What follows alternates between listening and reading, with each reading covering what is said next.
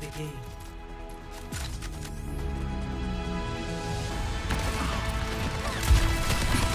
I've got you in my sights. Could effect on hostile.